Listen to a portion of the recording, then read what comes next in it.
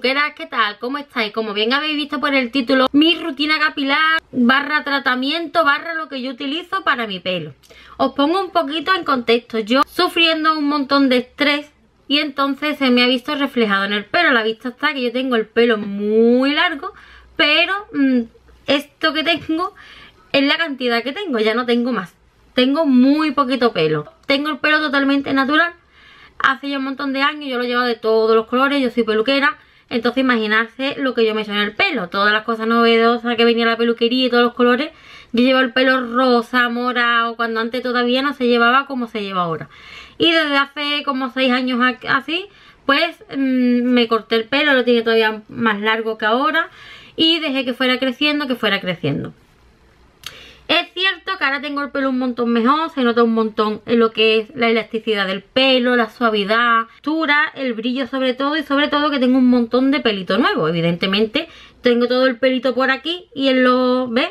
Todo esto está nuevo y de aquí a que esto baje pues... Mmm, es esa época que tenemos todos los pelitos así chiquitillos por aquí que se ponen que parece que está una loca perdida. Bueno, yo es que sinceramente eh, no me hago gran cosa en el sentido de mm, yo voy viendo según como yo tengo el pelo, quiero decirte. Porque estos vídeos hay que hacerlos muy bien porque después está la típica que te pone siempre pega los comentarios, patatín, patatán. Lo que yo utilizo bajo mi... de esto no quiere decir que a ti te venga bien ni nada, simplemente yo hablamos por ejemplo por Instagram y que yo saco muchos productos porque me preocupaba mm, esta caída masiva que tenía de pelo eh, evidentemente yo ya he ido al médico y todo, pero ya sabéis que yo siempre combino productos con cosas naturales, cosas que voy probando y demás. Cuando yo, por ejemplo, me veo el pelo, tengo temporadas que ahora mismo lo tengo bastante bien, lo tengo bastante sano, me lo noto mejor, de textura, de suavidad, em, evidentemente de cantidad no, porque la cantidad ahora mismo toda la tengo aquí, pero cuando yo me lo noto, por ejemplo, muy mal, muy mal, muy mal, pues mira, me voy a la farmacia, cojo un champú de pH neutro, de esos que ponen de oferta que es un litro de eso, que no tiene nada. Y entonces empiezo a combinármelo con aceites esenciales, pues ya depende. Eh, siempre pues le he hecho unas gotitas de proteína de seda, es que hay 20.000 los aceites esenciales, a mí me gusta mucho trabajar con ellos. Que yo por ejemplo, mm, si me compro un champú, pues me lo me intento que sea lo mejor posible qué cosa que ya he probado que sé que me hacen efecto de por bien como me deja el pelo, por lo que sea. Pues con, por ejemplo, mm, dos o tres gotitas de lavanda, eh, un poquito de aceite de argán, le echo incluso hasta aceite de ricino para que me estimule todo el crecimiento del pelo. Evidentemente, mm, el, champú me lo dejo un poquito como fue esta mascarilla y demás, pero que me hago pues, también peeling naturales Después ya un poco más comercial, digamos, para una limpieza así de lavarte el pelo pues dos veces o tres a la semana, pues mm, yo utilizo este porque me gusta cómo me deja el rizo, ¿vale?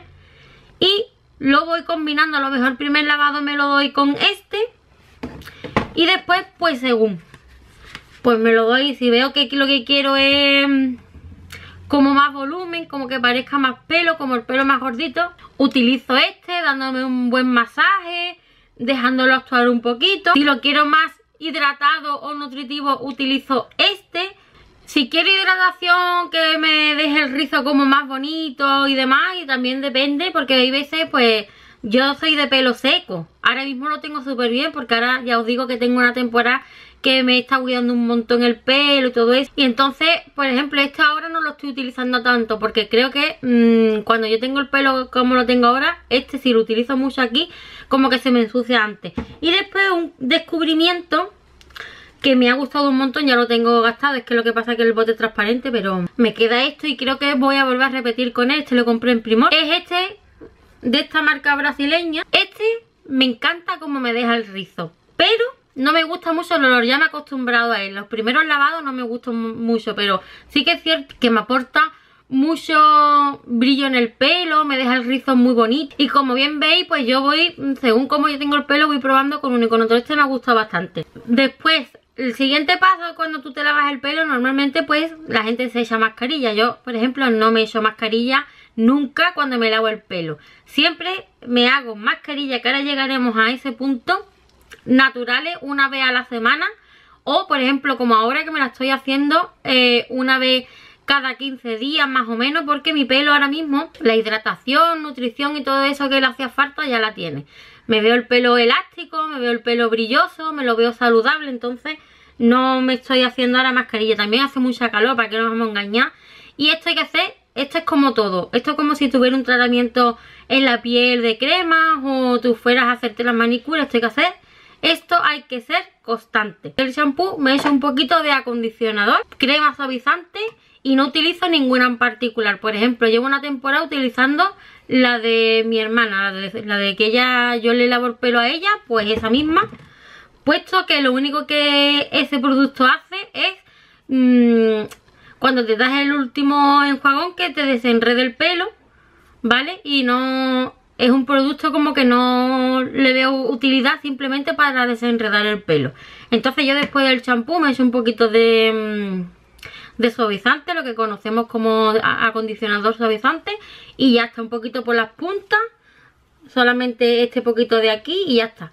También tengo que deciros que yo cada mes y medio, dos meses más o menos, yo me corto el pelo, ustedes me lo veis muy largo.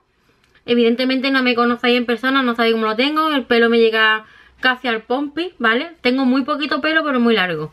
Y entonces yo eh, no tengo ni capas ni nada, como bien estáis viendo mi pelo. Tengo unas pequeñas capas que yo me hago, ¿vale? Para que cuando lo tenga suelto y demás, mmm, porque si yo me corto el pelo a capa como yo lo he tenido en otro tiempo, a mí me gustaría, si yo me corto aquí una capa, todo este pelo va al suelo, entonces, eh, entonces me quedo sin pelo en la melena, ¿vale? Entonces yo las capas las tengo largas. Si tengo capa, tengo como tres capas que me pelo yo sola porque soy peluquera y tampoco mi pelo necesita grandes cosas para que cuando esté suelto pues se vea bonito y no se vea la típica melena recta ni nada. Yo estoy, tengo formita, yo siempre tenía como un flequillito para el lado, pero de hace un tiempo para acá, entre el trabajo que tengo ahora, una cosa y otra, eh, tengo lo que es el flequillo largo, ¿vale? Porque con estas calores y demás no quiero tener pelo en la cara. Pero normalmente yo siempre tenía un flequillito como de lado y todo esto así... Mmm, trasquiladita, cuando te cogía la típica colita, pues tenía aquí una gracia en el pelo. Y ahora pues prefiero tenerlo así.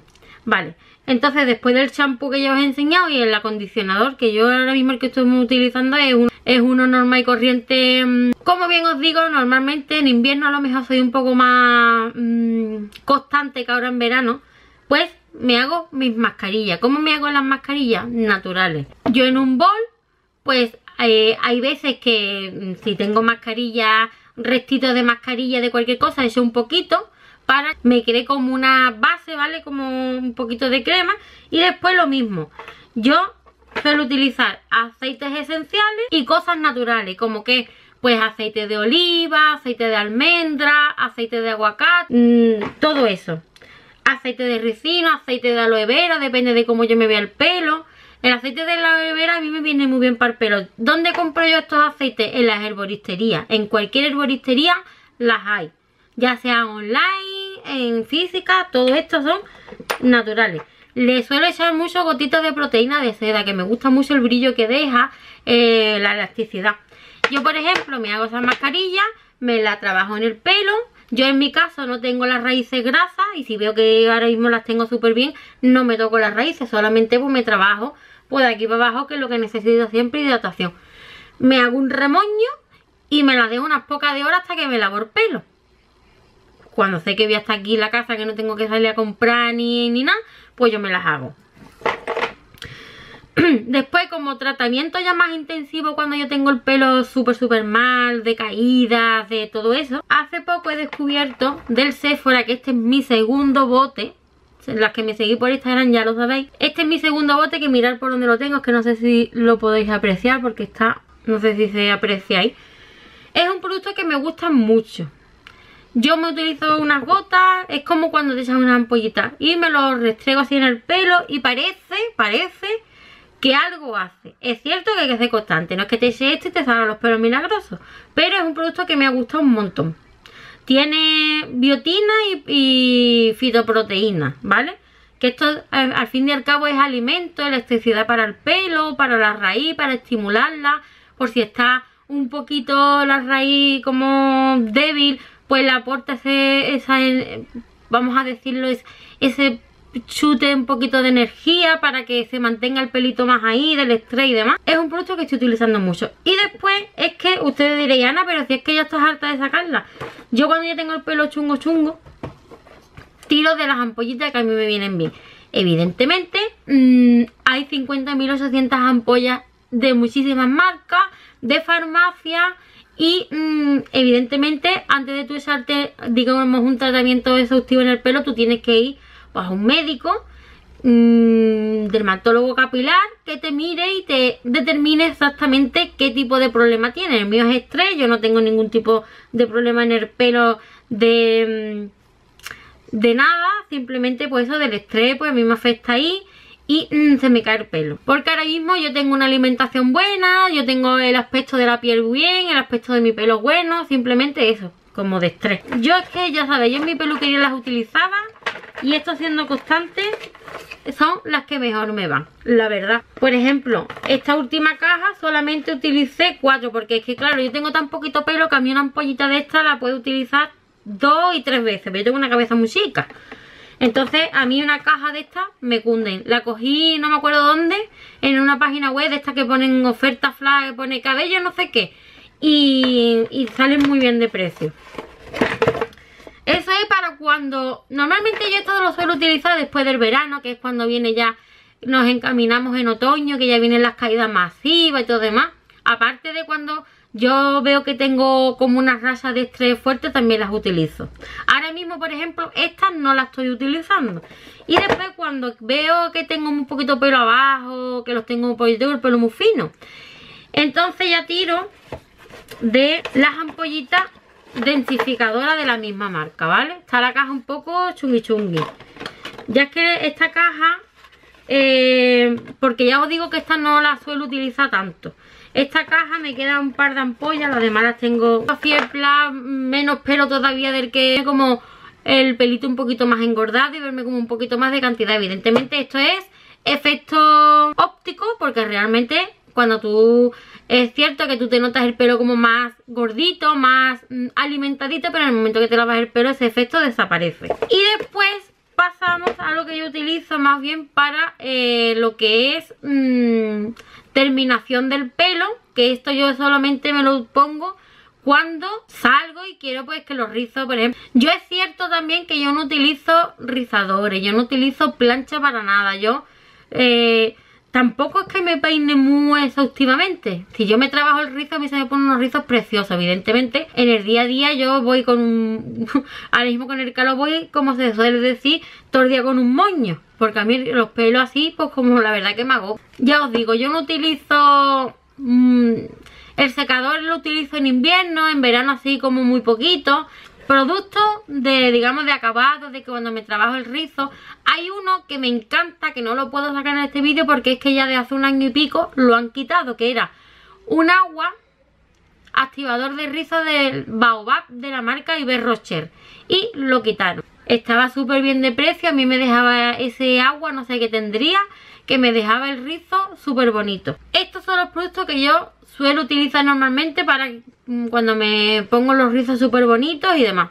Hay veces que según como yo me note el pelo utilizo un poco de difusor con el secador, pero normalmente yo utilizo estos productos y lo trabajo con la manita que se seque, se, se seque al, al aire y se me queda el pelo muy bonito. Yo es que he trabajado un montón de tiempo con la marca que era ya sabéis, si peluquera en mi salón se trabajaba, entonces estoy acostumbrada a estos productos y aparte me dejan el pelo espectacular. Hay veces que me pongo solamente este, hay veces que combino una gotita de esta con una gotita de esta y me trabajo solamente esto y me lo trabajo con la mano y se me queda súper bonito. Esta es totalmente natural, es una crema de peinado, especialmente de bucle y este también es como para... Mmm, de la marca, de la gama Discipline, que es está diseñada para los rizos, para que no se te abra, para mm, quitarle el encrespamiento, para que el rizo se quede fijado y demás. Normalmente cuando quiero hacer algo ligerito, en plan, yo qué sé, por decirte algo, voy a comprar y tengo el pelo, me noto así el pelo así como muy feo, lo que sea, y lo quiero llevar suelto, utilizo este. Este lo llevo utilizando un montonazo de años y a mí me deja esto el rizo súper bonito, la verdad. Ya os digo, un poquito de esto, el pelo un poquito humedecido de aquí para abajo y yo me lo trabajo así, a mí me deja el, este el rizo súper bonito. Y otro que desde que lo que desde que lo descubrí también me gusta, lo que pasa es que lo suelo utilizar menos. Es este de Sephora, que es formato como más crema, ¿vale? Para que me para que entendáis, parece como mascarilla. Y esto con muy poquito ya también te deja el pelo muy bonito y tiene un olor bastante agradable. Pero eh, yo por ejemplo tal como... Es que ya parecerá una tontería, pero es como depende de cómo yo tenga el pelo. Hay veces, temporada que cuando ya tengo mi pelo en, lo, que yo considero peor, ahora mismo ya os digo, mira, se ve súper sano, se ve hidratado, se ve mm, con elasticidad, no se ve nada encrespado, pues no lo suelo utilizar. Cuando me lo veo ya como más sequillo, que se estropajosillo, ¿no? Que por mucho que le eches aceite y cosas no se quita, pues sí es verdad que me lo suelo rizar con este. Y también por último, de acabado, por ejemplo, yo ahora mismo tengo el pelo así. Pues si yo utilizo, es que también utilizo el aceite de Moroccanile, este. Este es el light, ¿vale? Está uno que es normal y a mí, para mi pelo, el otro como que me lo ensucia mucho. Y yo cuando está de oferta o lo que sea, pues compro este pequeñito, que me quedan dos gotas y media, porque esto tiene pues un montón de tiempo. Pues también me utilizo este. Por ejemplo, yo ahora mismo, si yo fuera a salir ahora mismo y no quiero peinarme, pues cojo unas gotitas de esto, me lo echo así y se me queda el pelo súper bonito. El rizo empieza a... Yo es que no tengo como rizo rizo, yo tengo el pelo entre tipo... Tengo mechones a buzonados, otro que se me rizan, otro mm, tengo el rizo caído, que no es que tenga un rizo en concreto, ¿vale? Y entonces pues me he hecho unas gotitas de estas como si fuera un serum y demás y, y ya está. Y ahora mismo pues no estoy utilizando ni serum ni nada, ¿verdad? Con mis aceites esenciales y las cuatro así rutinillas capilares que yo me hago, pues... Mmm, mira, mi pelo no está nada seco y demás. Pues nada, truqueros y truqueras, un vídeo que la verdad que... Mmm, ya os digo que esto es como muy personal, ¿no? Lo que yo me utilizo a lo mejor, o soy como muy maniática. Hay veces que me da por una cosa y otras que otra. Hay veces que combino, hay veces que solamente me peino con una cosa. Pero normalmente esto es todo mis productos para pelo rizado y para mantenerme el pelo y para además que es lo que tengo. Más que esto que tengo aquí ya no tengo.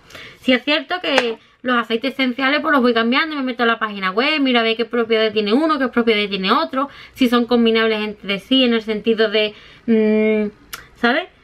Y voy probando y ya está. Pues nada, truqueros y truqueras, este ha sido mi vídeo de cómo yo utilizo mi rutina capilar, como lo queráis llamar. Espero que os guste, que os sirva de ayuda, de entretenimiento y poco más. Que muchísimas gracias por dedicarme unos minutitos de vuestro tiempo. Os mando un besito muy grande para todos y para todas. Y que como siempre os digo, que os digo siempre, pues que nos vemos muy prontito en un siguiente vídeo.